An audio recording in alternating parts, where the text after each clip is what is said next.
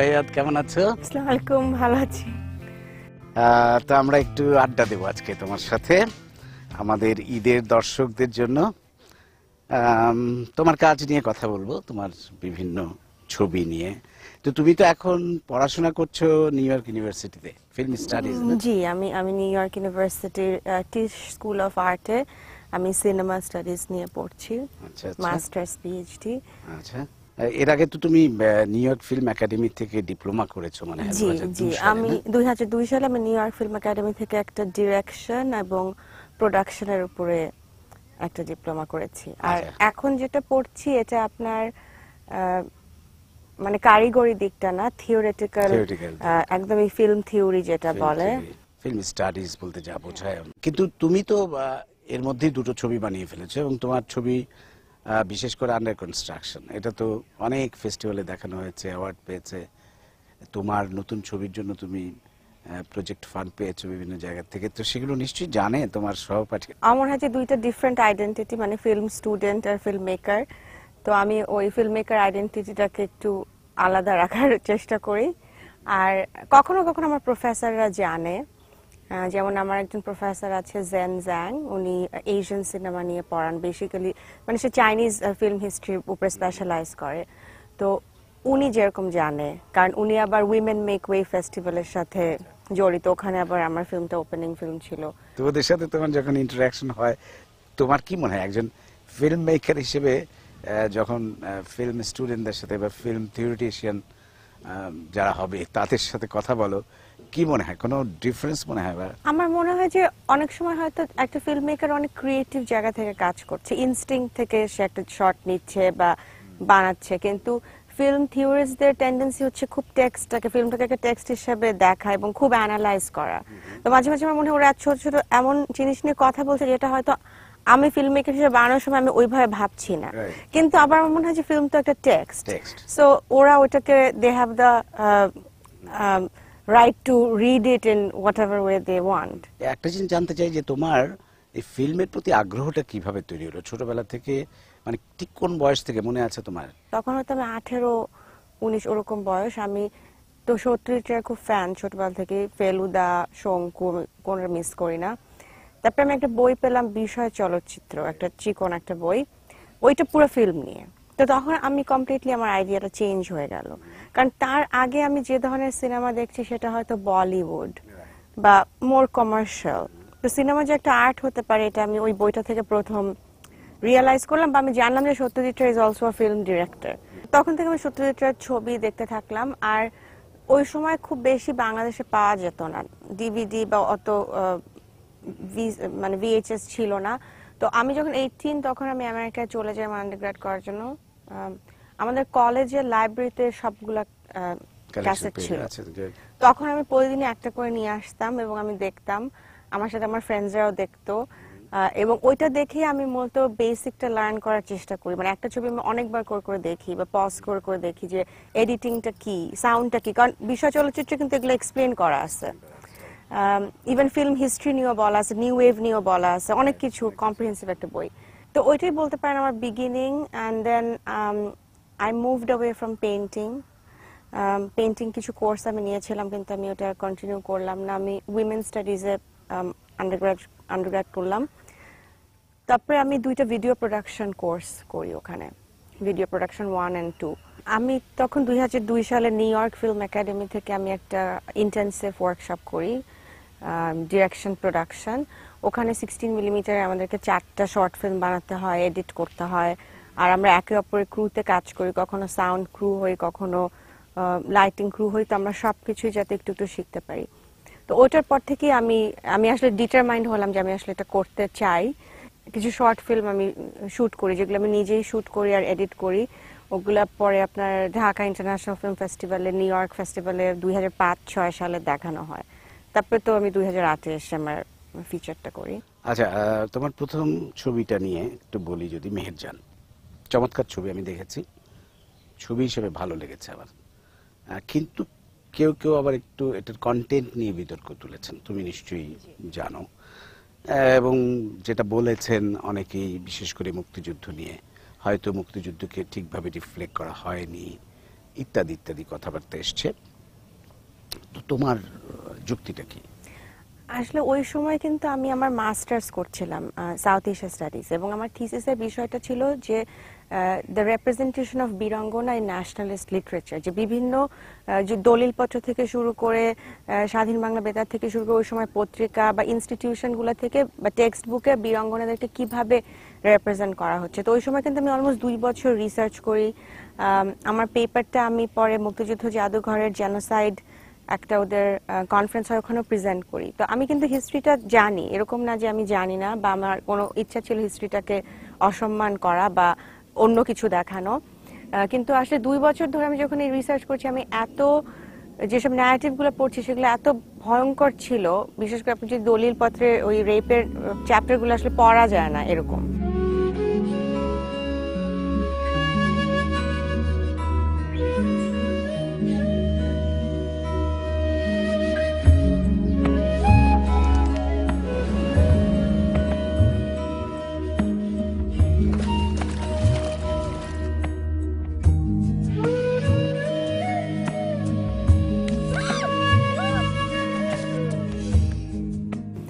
তো আমি তখন একটা অন্য কিছু খুঁজছিলাম, যেটা হয়তো এটার মধ্যে থেকে একটা কোনো হিলিং বা একটা কোনো পজিটিভ কিছু আমি বলতে পারব।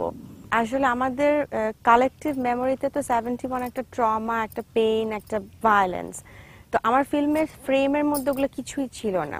ফিল্মটা দেখতে খুবই বিউটিফুল খুব ভিজুয়ালি প্লিজিং কোনো ফ্রেমের মধ্যে সেরকম ভাবে কোনো পেইন জিনিসটা ছিল না। একটা seventeen eighteen year old girl তার হ্যাপিনেস রোম্যান্স তখন আমার মনে হচ্ছে যে এইটাই হয়তো মানুষকে এফেক্ট করেছে। মানে এটা আমাকে খুব আহত করে যখন কেউ বলে যে এটা মুক্তিযুদ্ধ বিরোধী ছবি, কারণ সেটা না।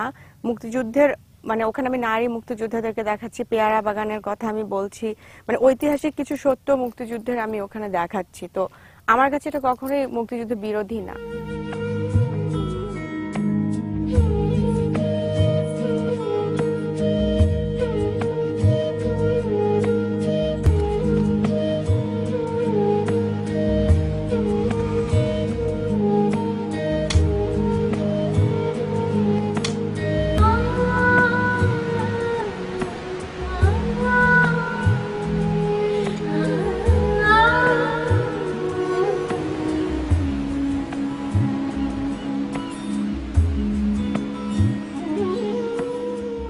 আর আমার কাছে মনে হচ্ছে যে তোমার যে মূল বিষয়টা যে একজন পাকিস্তানি সোলজারের সাথে বাংলাদেশি একটা মেয়ের প্রেম, এটা তো খুব চিরন্তন বিষয়। এটা হতেই পারে, এটা অন্য যুদ্ধেও কিন্তু আমরা দেখেছি যে শত্রুর সাথে প্রেম হয়েছে এবং সব শত্রু যে একই রকম, তাও তো না। সেটা আমার মনে ঠিকই আছে, কিন্তু ওই যেটা তুমি বললে যে আমরা আসলে এখনও এই ক্ষতটা আমাদের যায়নি এবং বিশেষ করে যেহেতু পাকিস্তান ক্ষমা চায়নি বাংলাদেশ এবং আমাদের এখানেও একটা বিচার প্রক্রিয়া চলছে। চলছে সব মিলিয়ে আমরা এখনও এই ধরনের কাহিনী দেখার জন্য তৈরি না। দুঃখজনক যেটা যে তোমার ছবিটা এক সপ্তাহ পরে ডিস্ট্রিবিউটর নিজেই হল থেকে নামিয়ে দিচ্ছে যেটা খুবই দুঃখজনক। ডিস্ট্রিবিউটরের উপর প্রেসার ছিল। Pressure ছিল। প্রেসার ছিল। তারপরে আমাকে যখন হঠাৎ করে বলা হচ্ছে যে আপনার ছবিটা নামায় নেওয়া হচ্ছে এবং আমার তখন আসলে কোনো পাওয়ার নাই কারণ এটা অলরেডি ডিস্ট্রিবিউটরের হাতে। এবং সে আমাকে বলছে যে, না, আমার উপর প্রেসার আছে, আমি এখন নামাইনি, আমরা আবার পরে এটাকে চালাবো। কিন্তু সেটা আর পরে কখনোই ওটা চালানো হয়নি আর কি। কিন্তু এটা অনেক ইউনিভার্সিটিতে দেখানো হয়েছে, অনেক ফেস্টিভ্যালে দেখানো হয়েছে এবং অনেক অনেক লেখাও হয়েছে, এটা নিয়ে এখনও হচ্ছে। তো সেই অর্থে আমি বলব যে ফিল্মটা সার্কুলেট করছে আর কি। সার্কুলেট করছে। এবং আমরা এটাও আশা করি যে নিশ্চয়ই ভবিষ্যতে আমাদের বাংলাদেশের দর্শকরাও ব্যাপক পরিসরে ছবিটা দেখবে। বিতর্ক যাই থাকুক দেখা উচিত। সব ছবি দেখা উচিত আমার মনে হয়। তো যাই হোক রুবায়ত আমরা আরও কথা বলব আহ, কিছুক্ষণ পর।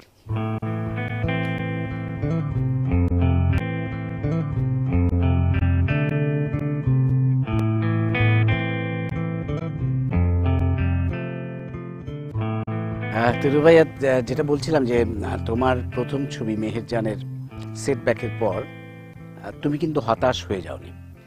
তুমি লেগেছিলে এবং তুমি খুব ভালোভাবে ফিরে আসলে তোমার পরের ছবি আন্ডার কনস্ট্রাকশন দিয়ে। এবং অনেক অনেক ভালোভাবে আমি বলব চমৎকার ছবি অসাধারণ ছবি।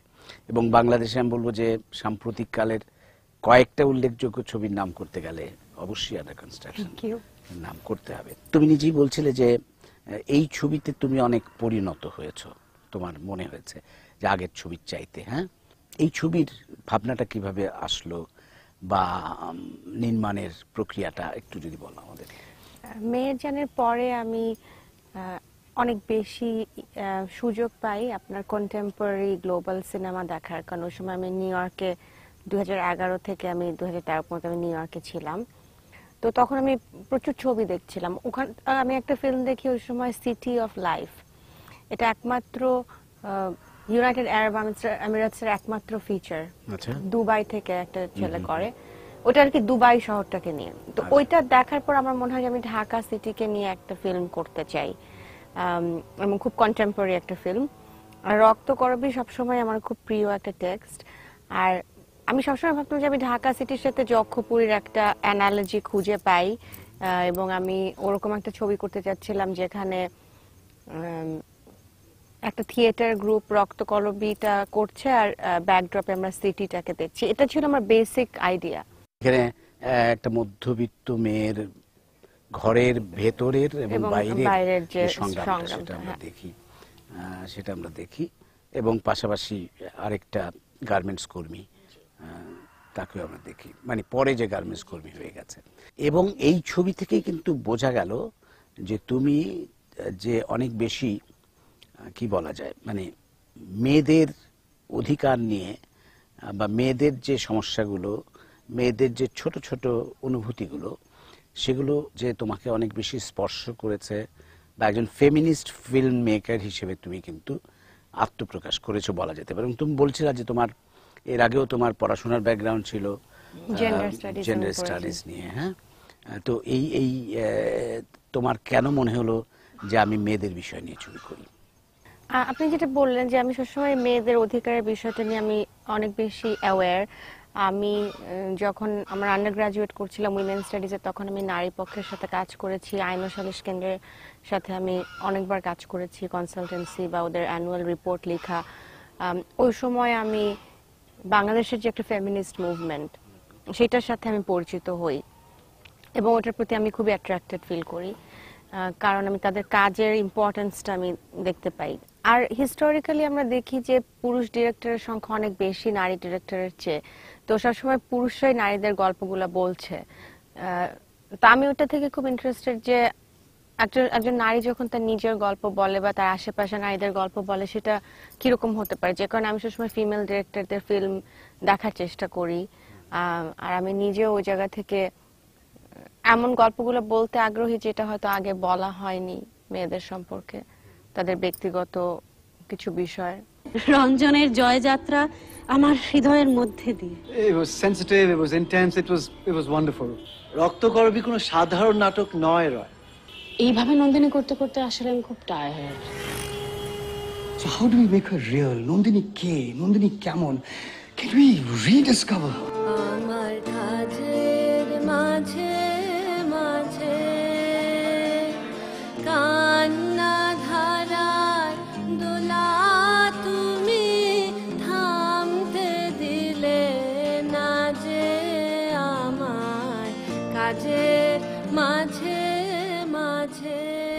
রক্ত করবি। আর এইভাবে নন্দিনী কস্টিউম এটা আমার জীবনের প্রথম বড় break I want to give it my best একটু যদি ছবিটার চলচ্চিত্র ভাষা নিয়ে কথা বলি আমার কাছে ছবিটা অনেক বেশি আধুনিক মনে হয়েছে চলচ্চিত্র ভাষা প্রয়োগের ক্ষেত্রে। এবং বোঝা যায় যে তুমি অনেক কন্টেম্পোরারি ছবি দেখেছ এবং তুমি নিজে বলছিলে যে তুমি ছবির মানে হিস্ট্রির প্রতি তোমার খুব আগ্রহ আছে এবং কীভাবে চলচ্চিত্র ভাষার বিবর্তন হয়েছে সেটা সম্পর্কে তুমি ভালোভাবে জানার চেষ্টা করেছ এবং কন্টেম্পোরারি ছবি দেখে তুমি আয়ত্ত করার চেষ্টা করছ, সেটা বোঝা যায়।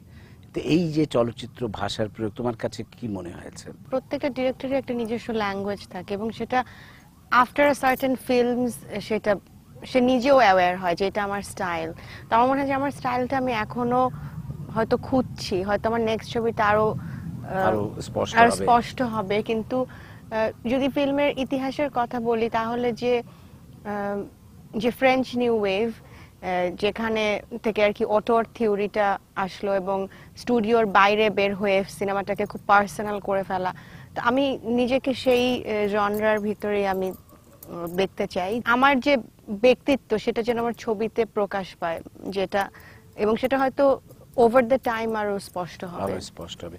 তো তুমি এই ছবিটা দিয়ে তোমার বাইরে অনেক ফেস্টিভ্যালে গেছো অনেক। ফেস্টিভ্যালে অ্যাওয়ার্ড পেয়েছ। তো সেই গল্পগুলো একটু শোনাও আমাদের। এটা প্রিমিয়ার হয় সিয়াটলে সিয়াটল ইন্টারন্যাশনাল ফিল্ম ফেস্টিভ্যালে নিউ ডিরেক্টরস শোকেসে দুই হাজার পনেরো সালে। আহ, তো এটা খুব ভালো অভিজ্ঞতা ছিল কারণ সিয়াটলে প্রচণ্ড ফুল হাউস অডিয়েন্স ছিল।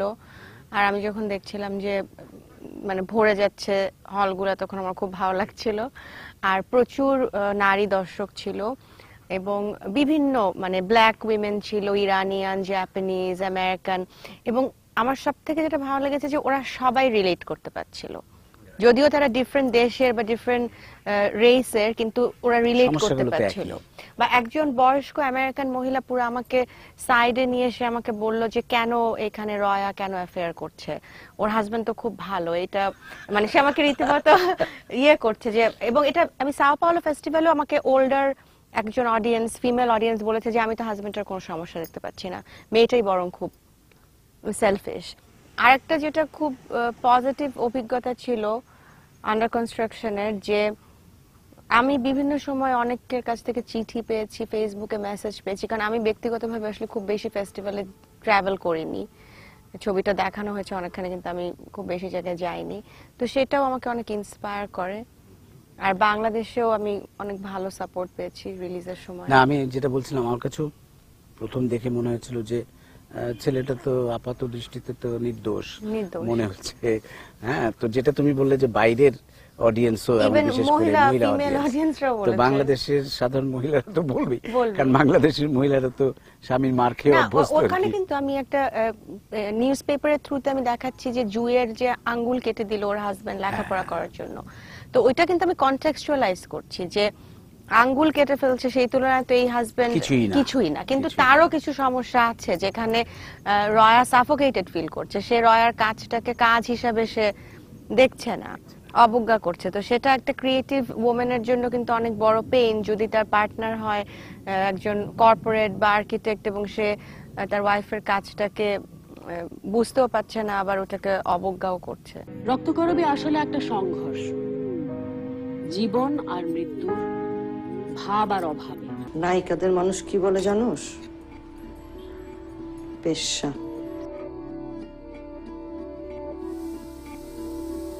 We want to have a baby. তুমি তো এটাই বলবা। বিয়ে করা আর বাচ্চা পয়দা করা ছাড়া তো মেয়েদের আর কোনো কাজ নাই। আমার কাউকেই দরকার নাই। You are so selfish, Raya.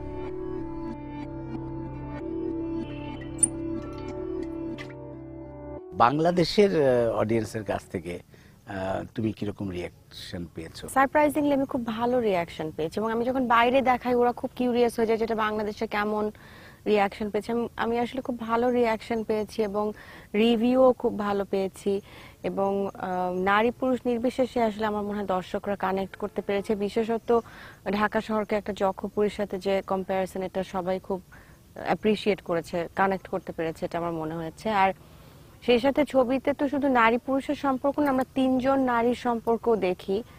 রয়া রয়ার মা এবং যে মেয়েটা রয়ার বাসায় কাজ করে।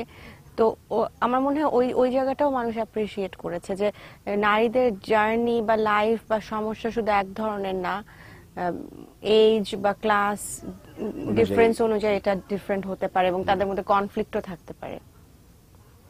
তো ওইখান থেকে আমি রিভিউ পেয়েছি যেমন অন্যান্য ফিমেল ফিল্ম মেকাররা যেমন ফাউজিয়া খান, শবনম ফেরদৌসি, তারা রিভিউ লিখেছে যেটা আমার খুব ভালো লেগেছে যে আমি যে ফিমেল ডিরেক্টরদের কাছ থেকে একটা রেসপন্স পেয়েছি। সেই সাথে কন্টেম্পোরারি যারা মেল ডিরেক্টর ছিল তাদের থেকে আমি অনেক সাপোর্ট পেয়েছি। ফারুকি ভাই, অমিতাভ রেজা, ইমন বা অঞ্জন ভাই, সবার কাছ থেকে আমি স্পেশালি আমি ঢাকা ইন্টারন্যাশনাল ফিল্ম ফেস্টিভ্যালে আমরা একটা স্ক্রিনিং করেছিলাম শুধু উইমেন অডিয়েন্সের জন্য।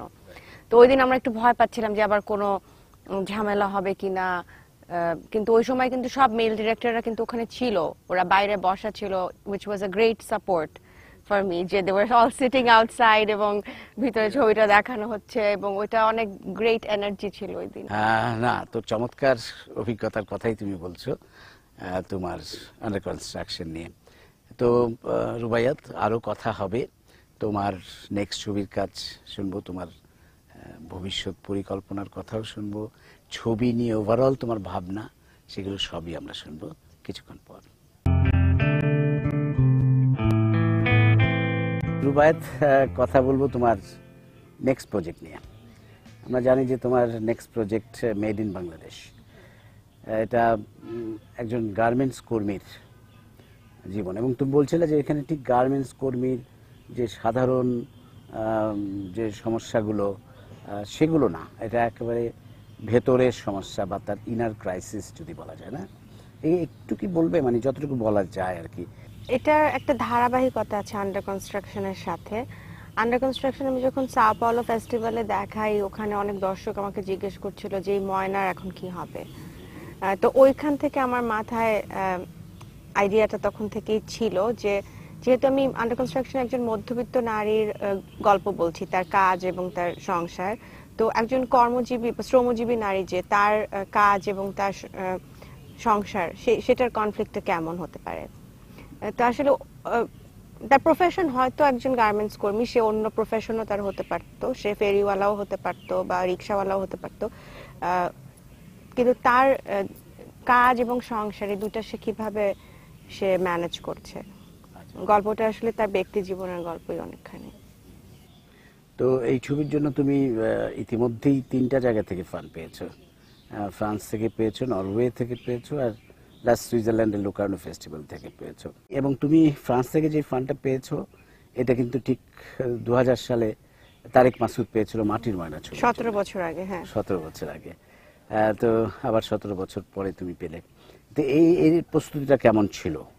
এই প্রস্তুতিটা শুরু হয়েছে গত বছর আমি যখন ওপেন ডোরস লোকানো ফেস্টিভ্যালের ওপেন ডোরস ল্যাবে আমি পার্টিসিপেট করি।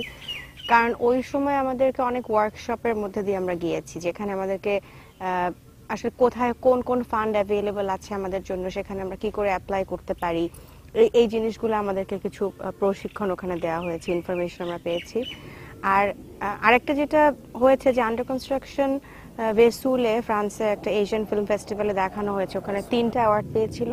তো আমি ওই ফেস্টিভ্যালের মাধ্যমে আমার যে এখন ফ্রেঞ্চ প্রডিউসার ফসোয়া দক্তেমার ওকে আমি মিট করি এবং দুই হাজার ষোলো সালের ফেব্রুয়ারিতে আমি ওকে মিট করি। তো তারপরে আমি ওকে আমার গল্পটা বলি এবং তারপর থেকে আমরা একসাথে কাজ করছি। আর এই ইউরোপিয়ান ফান্ডগুলোতে যেটা হয় যে অ্যাপ্লাই করতে হলে ওদের একজন ইউরোপিয়ান প্রডিউসার লাগবে। না হলে আমি ডিরেক্টলি অ্যাপ্লাই করতে পারব না। তো এই ফান্ডগুলো ওর মাধ্যমে আমি অ্যাপ্লাই করেছি।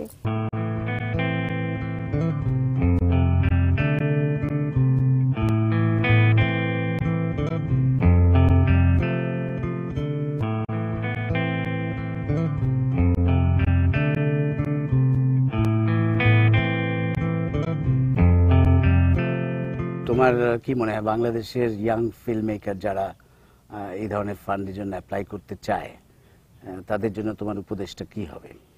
আমার উপদেশটা হবে যে আমি বাংলাদেশে দেখি যে সবাই খুব তাড়াহুড়া।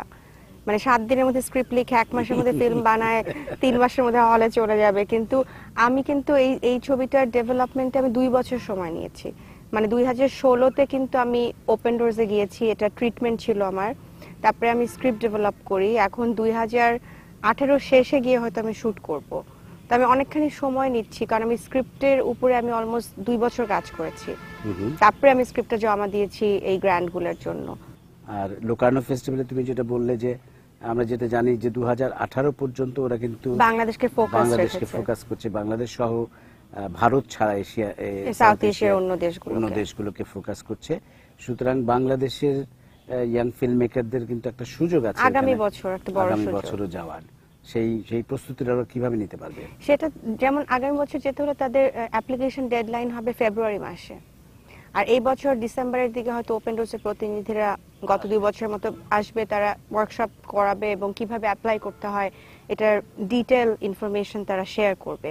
কিন্তু অ্যাপ্লাই করার জন্য একটা চিত্রনাট্য দরকার পূর্ণাঙ্গ লোকেশনের ছবি দরকার যতটুকু শো করা যায় যে কত বেশি আমি প্রিপেয়ার্ড অনেক হয়তো একটা ট্রিটমেন্ট জমা দিয়ে দিচ্ছে। ওদের কাছে ট্রিটমেন্টটা ভালো লাগছে কিন্তু ওরা সিলেক্ট করছে না। কারণ শ্রীলঙ্কা থেকে আরেকটা প্রজেক্ট হয়তো আসছে খুব ভালো একটা স্ক্রিন প্লে তো আমার মনে হয় প্রস্তুতিটা খুব ভালো প্রস্তুতিটা মানে যদি মনে করে এক মাসের মধ্যে আমি অ্যাপ্লিকেশন করে ফেলব তার থেকে ছয় সাত মাস সময় হয়তো দেওয়া মানে উচিত এখন থেকে এখন থেকে স্ক্রিপ্ট লেখা এবং draft করা করা। লোকেশন ছবি তোলা সেই কাজগুলো শুরু করে দেওয়া উচিত। সেগুলো তো তোমার এই এই ছবির কাজটা তুমি বলছিলে যে দু হাজার আঠারোর শেষে নাগাদ হয়তো শুরু করতে পারবে।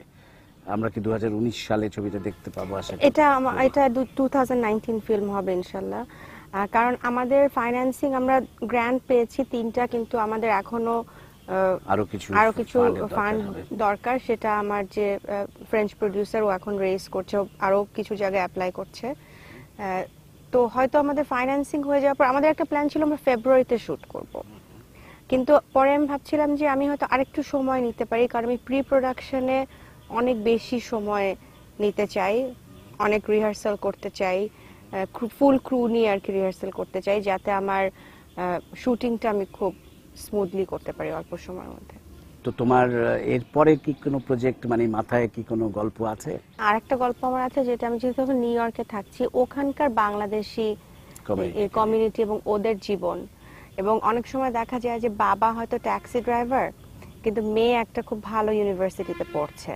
তখন যে পরিবারের মধ্যেই যে একটা দূরত্ব তৈরি হয়ে যায় তো এরকম একটা গল্প আমার আছে যে বাবা ট্যাক্সি ড্রাইভার কিন্তু মেয়ে আর্ট পড়ছে এবং তাদের মধ্যে যে দ্বন্দ্বটা এবং ওখানে আপনার এই বর্ণ বৈষম্যের বিষয়টাও আছে যে মেয়েটার যে প্রেম হয় একটা ব্ল্যাক ছেলের সাথে, পরে সে ছেলেটা পুলিশের হাতে মারা যায়।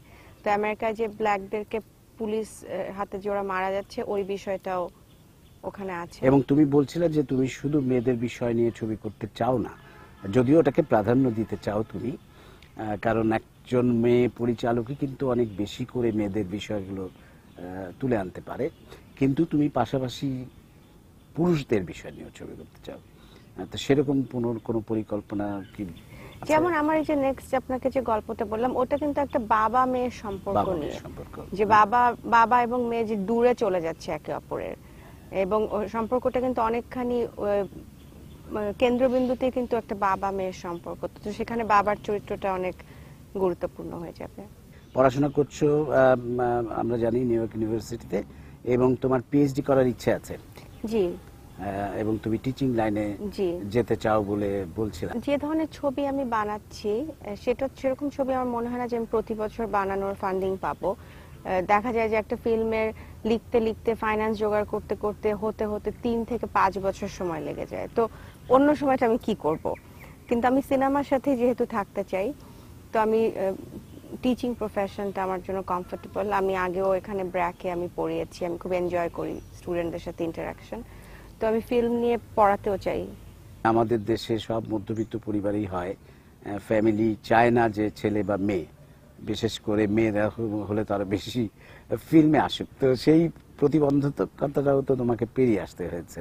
তো সেইটা কি অনেকটা কেটেছে বলে মনে হয়? হ্যাঁ সেটা অনেক কেটেছে এবং বিশেষত আন্ডার কনস্ট্রাকশনটা যখন ইন্টারন্যাশনালি দেখানো হলো আর স্পেশালি যখন আমি মেড ইন বাংলাদেশের জন্য গ্র্যান্ট পাচ্ছি এবং বেশ বড় অঙ্কের গ্র্যান্ট আমি পাচ্ছি তো ওটা দেখে ওরা বুঝতে পারছে যে না এই ধরনের সিনেমারও সাপোর্ট আছে বা সিনেমা মানেই যে একদম শুধু বিনোদন নাচে গানে ভরপুরের বাইরেও একটা সোশ্যালি রিয়ালিস্টিক ফিল্ম হতে পারে এটা ওরা বুঝতে পারছে এখন। এবং এখন যখন তুমি পিএইচডি করবে টিচিং প্রফেশনে আসবে তখন তো নিশ্চয়ই তারা আরও বেশি খুশি হবে। এটাতে আরও বেশি খুশি যে অ্যাট লিস্ট আমি প্রফেসর হচ্ছি। তো হ্যাঁ, ধন্যবাদ রুবাইয়াত আমরা আরও কিছু কথা বলব একটা বিরতির পর। ভাইয়া তোমার আন্ডার কনস্ট্রাকশন ছবিটা তো ফেস্টিভ্যালে যাওয়া ছাড়াও মানে ফ্রান্সে এটা কমার্শিয়ালি রিলিজ হয়েছে। সেখানকার রিয়াকশন কেমন পেয়েছ তুমি? সেখানে আমরা খুব ভালো রিয়াকশন পেয়েছি। আমাদের টোটাল বিশটা থিয়েটারে ছবিটা রিলিজ হয়েছে। অ্যাক্রস ফ্রান্স প্যারিসে আপনার দুইটা থিয়েটার রিলিজ হয়েছে, ছয় সপ্তাহ চলেছে। তো আমরা খুব ভালো রেসপন্স পেয়েছি এবং অডিয়েন্সরা খুব এঙ্গেজড আমাদের রিভিউও এসেছে খুব ভালো। এটা খুব চমৎকার যে বাংলাদেশের একটা ছবি ফ্রান্সে চলছে বাণিজ্যিকভাবে। এটা তো খুবই ইন্সপায়ারিং আমাদের জন্য। এবং এই যে মানে একটু যদি বলি যে কমার্শিয়াল ছবি মানে কমার্শিয়াল মানে কি? এখন ছবি যদি বাণিজ্য করে, তাতে কারও দোষের কিছু নাই। আমরা সবাই চাই যে আমাদের ছবি চলুক। কিন্তু আমরা তো আমাদের সত্তাটা বিসর্জন দিয়ে সেটা চাই না। তাই না? আমাদের মতো করে আমরা ছবি বানাতে চাই। সেই ছবি যদি দর্শক দেখে, তা আমরা খুশি হব। আর একেবারেই বাণিজ্যের জন্য যারা ছবি করেন, তারা তাদের মূল চিন্তাটাই থাকে ব্যবসা করা। দুটো পার্থক্য আছে। এবং তুমি বলছিলা যে দুটো একসাথে হয় না। এবং তোমার কাজ আসলে তুমি চাও যেটা, যে নিজেকে প্রকাশ করা, শৈল্পিকভাবে প্রকাশ করা। তোমার কিছু বলার আছে, সেটা তুমি বলতে চাও ছবিতে। তো এই ব্যাপারটা কি মনে হয় তোমার? দুটোর মিশেল যদি হয়ে যায়, যদি খুব সার্থকভাবে মেশানো যায় সেটা হয়তো ঠিক আছে। আদারওয়াইজ কি মনে হয় তোমার? এই দিকটা তুমি যদি একটু বলো, কারণ আমাদের, এটা আমি এই জন্য বলছি যে আমাদের অনেক ফিল্ম মেকারদের মধ্যে আমি দেখছি দোটানা ভাবটা। আছে, যাতে করে ছবি না হয়, শিল্প না হয়, বাণিজ্য। আমার মনে হয় যে একজন ডিরেক্টরের অনেস্ট হওয়া উচিত নিজের প্রতি, যে সে আসলে কি বানাতে চাচ্ছে। শুধুমাত্র বাণিজ্যিক প্রয়োজনে আমি দুইটা গান দিয়ে দিব বা একটা বড় স্টার নিয়ে নিব, তাহলে আমার মনে হয় ছবির যে শৈল্পিক দিকটা, সেটা কিছুটা ক্ষতিগ্রস্ত হয়। যেমন আমি যখন ডিস্ট্রিবিউশনের জন্য যাই আন্ডার কনস্ট্রাকশন আমরা নিজেরা ডিস্ট্রিবিউট করেছি, প্রথমে হল মালিক বলতে চায় যে কয়টা গান? হ্যাঁ বা আমাকে অনেকে বলছে আপনি এরপরে দুই তিনটা গান রাখবেন। কিন্তু আমি যখন দুই তিনটা গান দেই তাহলে আমার ছবির ন্যারেটিভটা হয়তো ক্ষতিগ্রস্ত হবে। তো এটা আসলে একজন ডিরেক্টরকে সেই চয়েসটা মেক করতে হবে। আর শৈল্পিক ছবি যে চলছে না বা সেটার যে মার্কেট নেই সেটা তো না। আমার ছবিটা তো চলছে না বিশটা থিয়েটারে বরঞ্চ আমি কিন্তু বলব যে শৈল্পিক ছবি বেশি চলছে রাদার দেন বাণিজ্যিক ছবি। আমরা যদি একটা হিসাব করি বাংলাদেশের অধিকাংশ বাণিজ্যিক ছবি কিন্তু রিটার্ন তুলে আনতে পারে না এখন। কিন্তু সেই অর্থে কিন্তু যে শৈল্পিক ছবিগুলো যারা বানাচ্ছে সেগুলো কিন্তু মোটামুটি ভাবে আমরা দেখি হয় দেশে চলে অথবা বাইরে চলে। কোনোভাবে রিটার্ন এবং ফেস্টিভ্যাল স্ক্রিনিং থেকেও কিন্তু ডিরেক্টর টাকা টাকা পায় হ্যাঁ। সুতরাং সেটা তো। সেটার সেটাও একটা রিটার্ন। সুতরাং তুমি যদি বলতে চাই যে সৎভাবে নিজের মতো করে ছবিটা বানিয়ে যেতে চাও। এবং যেতে চাই আমার মনে হয় সেটার জন্য গ্র্যান্ট আছে ফান্ড আছে প্রডিউসার আছে ডিস্ট্রিবিউটর আছে তো আসলে একজন ডিরেক্টরের সিদ্ধান্ত নেওয়া যে আসলে আমি কি ধরনের ছবি বানাবো সেটার মার্কেটটা কোথায় এবং রিয়েলিস্টিক্যালি সেইভাবে অগ্রসর হওয়া। তবে কাজটা নিশ্চয়ই খুব সহজ না না কাজটা অবশ্যই কঠিন। জার্নিটা অনেক। কঠিন একটা ছবি ফাইন্যান্সিং রেজ করে স্ক্রিপ্ট লিখে তিন থেকে পাঁচ বছরের প্রজেক্ট একটা ছবি। কিন্তু সেই ক্ষেত্রে স্যাটিসফ্যাকশনটা আমি মনে করি অনেক বেশি। আমি যদি আমার নিজের মতো করে একটা কাজ করতে পারি। অনেক বেশি স্যাটিসফ্যাকশন রাইট তো এমনি ওভারঅল বাংলাদেশের ছবি সম্পর্কে তোমার মূল্যায়নটা কি এখন যা ছবি হচ্ছে? এখন আমার মনে হয় আমরা খুব পজিটিভ একটা সময়ে আমরা যাচ্ছি। মানে একটা সময় ছিল যখন আপনাদের ছবি বড় বড় ফেস্টিভ্যালে গিয়েছে তারেক মাসুদের ছবি গিয়েছে এরপর একটা সময় ছিল যে একটা ব্রেক চলে এসেছিল। কিন্তু এখন আমরা দেখছি যে আবার অনেক ছবি হচ্ছে এবং মানুষের আগ্রহ তৈরি হচ্ছে এ ধরনের ছবির প্রতি। রিসেন্টলি বাংলাদেশের ইয়াং অনেক ফিল্ম মেকারদের ছবি গ্লোবালি সমস্ত ফেস্টিভ্যালে যাচ্ছে। এবং এই যে ওপেন ডোরস ইনিশিয়েটিভ এটার মাধ্যমেও আমি মনে করি তিন বছর যে ফোকাস বাংলাদেশে, হয়তো একটা, দুইটা বা তিনটা ফিল্ম বের হয়ে আসবে এখান থেকে। তো আমার মনে হয় যে এটা এখন পজিটিভ টাইম আর গ্লোবালিও মানে ফেস্টিভ্যাল সার্কিটে বা মার্কেট ওয়াইজ এই রিজনটার প্রতি এখন অনেক আগ্রহ। ইন্ডিয়ান ফিল্ম থেকে আগ্রহটা কিন্তু এখন অনেকখানি একটু সরে আসছে। এখন নেপালি ফিল্ম যেমন খুব ভালো করছে নেপালি ফিল্ম ভেনিসে অ্যাওয়ার্ড পাচ্ছে বার্লিনে যাচ্ছে ভুটানের একটা ফিল্ম গতবার বার্লিনে ছিল। তো এই রিজনটা আমার মনে হয় এখন আপকামিং আপকামিং বাংলাদেশের ইয়াং ফিল্ম মেকারদের মধ্যে তুমি সেই সম্ভাবনাটা দেখতে আমি ভীষণভাবে দেখতে পাচ্ছি। আমরা তো আমাদের প্রতিষ্ঠান ঘনা টকিজ থেকে আমরা প্রডিউস করছি শর্ট ফিল্ম এবং আমরা চেষ্টা করছি যে ফিচার ফিল্মও কীভাবে ডেভেলপ করা যায় ফরেন গ্রান্টের জন্য সেটা আমরা চেষ্টা করছি। তো অনেকের কাজ দেখছি যারা আমার মনে হচ্ছে অসম্ভব ট্যালেন্টেড অনেক সম্ভাবনাময়। তো মনে হয় যে আগামী পাঁচ বছরে আমরা খুব একটা প্রগ্রেস হয়তো দেখতে পাবো আমাদের ফিল্মে আর ছবি দেখার মাধ্যমটাও কিন্তু দিন দিন চেঞ্জ হয়ে যাচ্ছে। মানে এখন যে শুধু সিনেমা হলে ছবি চলবে তা তো না। এখন আরও অনেক নতুন নতুন প্ল্যাটফর্ম তৈরি হচ্ছে। অনলাইনে ছবি দেখা যাচ্ছে এবং সেখান থেকেও কিন্তু প্রডিউসার পাওয়া টাকা পাচ্ছে। সেটার কেমন সম্ভাবনা তুমি দেখো? সেটা? সম্পূর্ণটা ভালো যেমন আমাদের মেহেরজান কিন্তু আমরা আমেরিকা এরকম একটা প্ল্যাটফর্মের কাছে সেল করেছি এনডি ফ্লিক্স নেটফ্লিক্সের মতো। আন্ডার কনস্ট্রাকশন যেমন এখন ফিল্ম্যাটিক একটা অনলাইন প্ল্যাটফর্মে স্ট্রিম হচ্ছে আমেরিকা কানাডা দর্শকদের জন্য। ওখান থেকে আমরা ফিফটি ফিফটি রেভিনিউ শেয়ার পাচ্ছি। তো এই এইগুলো সম্ভাবনাগুলো আছে আমাদের জন্য। কিন্তু আবার এটার একটা খারাপ দিকও আছে যে আপনার ছবি যদি পাইরেসি হয়ে চলে আসে ইউটিউবে তখন কোনো ফেস্টিভ্যালও ওটা নিবে না ওটা থিয়েট্রিক্যাল রিলিজের ভ্যালুটাও চলে যাবে। তো ওইটা একটা আমাদের সতর্ক থাকার বিষয় যে আমরা কীভাবে পাইরেসিটাকে রোধ করতে পারি। আমাদের এখানে কিন্তু আমরা দেখতে পাচ্ছি যে মেয়ে- মেয়েরা খুব বেশি ছবি নির্মাণে এগিয়ে আসছে না। ডকুমেন্টারিতে আবার মেয়েরা অনেক বেশি সংখ্যায় সংখ্যায় এগিয়ে আসছে। এবং খুব বেশি আসে নাই একমাত্র আমরা যদি বলি শামীম আক্তার। ছবি করেছে কিছু। তুমি করছ আমাদের সামিয়া জামান দুই একটি ছবি করেছে আর আমাদের আম, শবনম ফেরদৌসি। ও কিন্তু একটা ছবির জন্য অনুদান পেয়েছে এবার ফিচার ফিল্ম ওর আগের ডকুমেন্টারিটার কথা বলছিলাম সেটি খুব চমৎকার একটি ডকুমেন্টারি সে করেছিল। কি যেন নাম? জন্মসাথী। চমৎকার ডকুমেন্টারি তো ওর ছবিটাও আশা করি আমরা প্রত্যাশা নিয়ে বসে আছি ভালো হবে। অল্প অল্প করে মেয়েরা এগিয়ে আসছে। তো তোমার কি মনে হয় মেয়েরা কেন মানে পুরুষদের মতো সেইভাবে এগিয়ে আসতে পারছে না? বা একজন নারী চলচ্চিত্রকার হিসেবে তুমি কি কি প্রবলেমগুলো এই সমাজে ছবি করতে যে ফেস করেছ? ওয়ার্ল্ড ওয়াইড ফিমেল ডিরেক্টর এখন অনেক বেশি ছবি বানাচ্ছে কিন্তু বাংলাদেশে এটার সংখ্যাটা খুব কম। এটা আমি নিজেও প্রশ্ন করছি যে কেন? একটা জিনিস আমার যেটা মনে হয় যে ডিরেকশনটাকে খুব একটা ম্যাসকুলিন জব হিসাবে মনে করা হয়।